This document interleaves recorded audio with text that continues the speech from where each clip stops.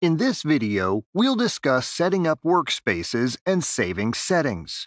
So let's open a chart. We choose a symbol, time frame, and chart type, and then configure this chart. For example, let's remove the POC lines from the chart displayed by default, leaving only the horizontal histograms of delta and volume. And then, to open a second window with the same settings, go to the Setup menu and clone this window.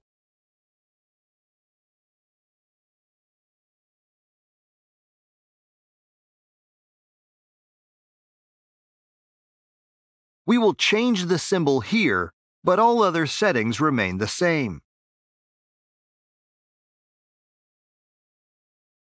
And additionally, open two windows with a 5-minute time frame for each instrument.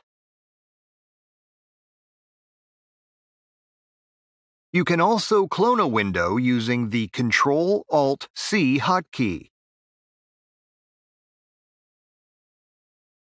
Having set up the workspace, go to Market Watch, Layout, and save the layout. Enter a name and confirm.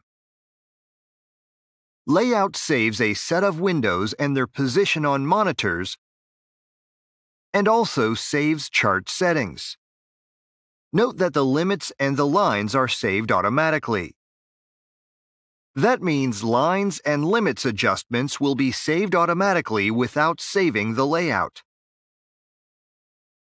Note that all settings are stored on our servers and you can access them from any PC or laptop.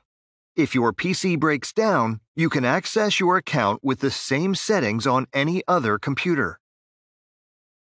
And in conclusion, we'd like to note the option of built-in desktops.